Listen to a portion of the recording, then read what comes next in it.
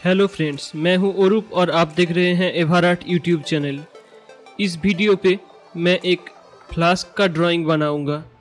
तो आप इस चैनल पे अगर नया है तो इस चैनल को सब्सक्राइब कीजिए और बेल आइकन पे क्लिक करने के बाद ऑल पे क्लिक कीजिए ताकि ऑल नोटिफिकेशंस आपको जल्द से जल्द मिल जाए। तो मैं यहाँ पे अभी एक एच पेंसिल इस्तेमाल कर रहा हूँ, जो कि मैं ड्राइंग के लिए इस्तेमाल कर रहा हूँ। आप देख सकते हैं और यहाँ पे ये ज़्यादा डार्क नहीं होगा, क्योंकि स्टील का कलर करने का मैं कोशिश कर रहा हूँ। और लेफ़्ट साइड पे आप देख सकते हैं, एक नॉन डस्ट इरेजर है। तो मैं यहाँ पे नॉन डस्ट इरेजर इस्तेमाल कर रहा हूँ और एक एच बी पेंसिल से ड्रॉ कर रहा हूँ।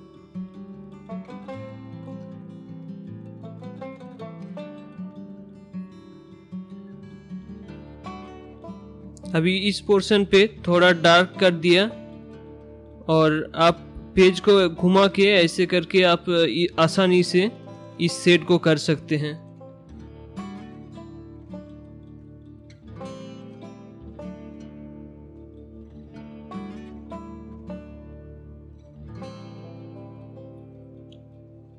मैं इसको थोड़ा थोड़ा फास्ट फॉरवर्ड कर दिया। ताकि वीडियो ज़्यादा लंबा ना हो जाए तो आप समझ सकते हैं कि कैसे इसको किया जाता है।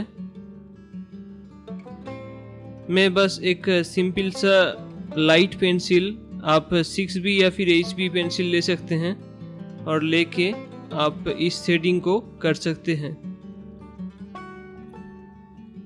तो पहले पूरा जो फ्लास्क है, उस पे मैं टोटली पेंसिल्स लेके सेट कर दिया और उसके बाद मैं इरेजर यूज़ करूँगा इसको थोड़ा लाइट करने के लिए। अभी मैं टिश्यू पेपर इस्तेमाल कर रहा हूँ इसको थोड़ा स्मूथ करने के लिए और इसके पहले भी मैं बहुत सारे स्टिल लाइफ इस चैनल पे पोस्ट किया हूँ तो आप उसको जाके भी देख सकते हैं, बहुत ज़्यादा नॉलेज आपको आपको हो जाएँगे। और ये सिक्स बी पेंसिल से और भी थोड़ा डार्क कर रहा हूँ मैं।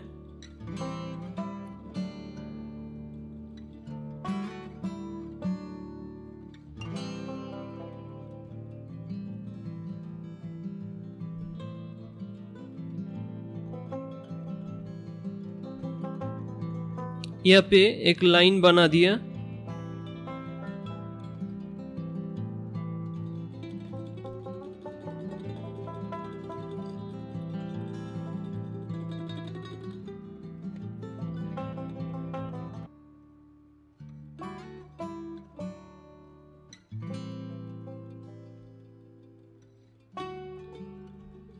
तो लाइक कीजिए इस वीडियो को और शेयर कीजिए आपके दोस्तों के साथ।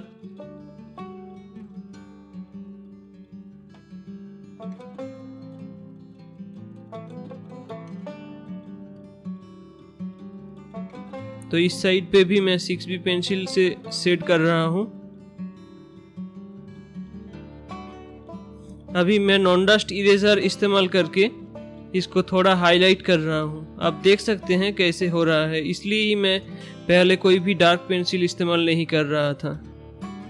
क्योंकि डार्क पेंसिल इस्तेमाल करने से ये इरेजिंग नहीं होता। फिर मेरे को जो वाइटनर है या फिर वाइट कलर एक्रेलिक कलर से ये करना पड़ता। तो मैं इसलिए ये इसको नहीं किया था। और अब देख सकते हैं, थोड़ा स्टील का फीलिंग्स आपको आएगा।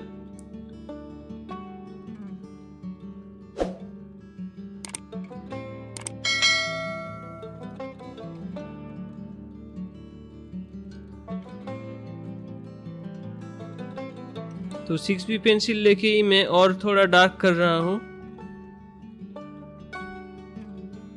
अभी ये जो टेन बी पेंसिल है टेन बी पेंसिल से मैं हाईलाइट कर रहा हूँ इस पोर्शन को।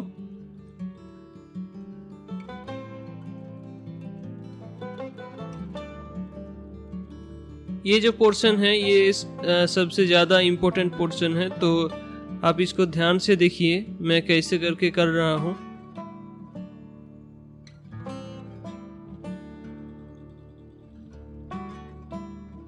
जस्ट वर्टिकली आप लाइन कीजिए, मैं जैसे करके कर रहा हूँ, और थोड़ा गैप गैप करके आप यहाँ पे उस वर्टिकल लाइन को दीजिए।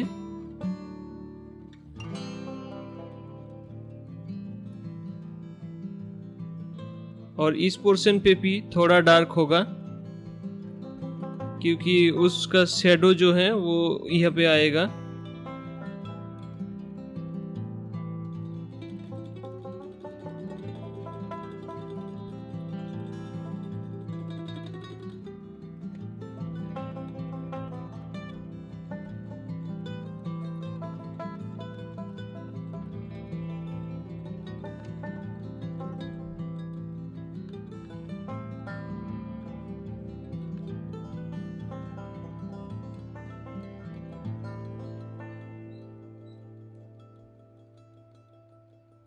यहाँ पे मैं मोनोजीरो इरेजर इस्तेमाल कर रहा हूँ। और जो भी मैं मटेरियल यहाँ पे इस्तेमाल कर रहा हूँ, उसका लिंक मैं डिस्क्रिप्शन पे दे दिया।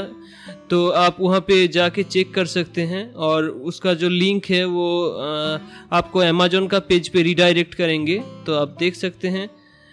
और ये अभी फिंगर से मैं इसको थोड़ा स्मूथ करने की कोशिश कर रहा हूँ। आप देख सकते हैं स्मूथ हो भी रहा है यहाँ पे।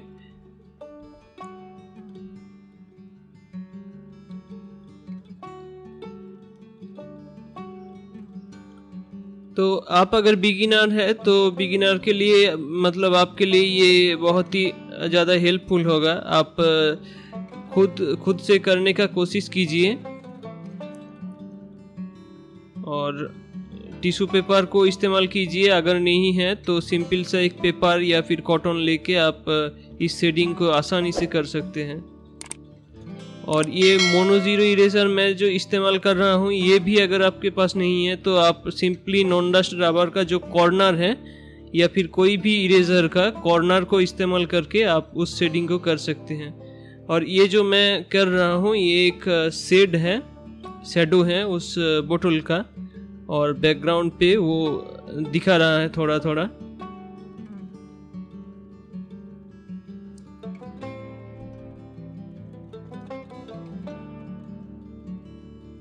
मैं टेन बी पेंसिल इस्तेमाल कर रहा हूँ।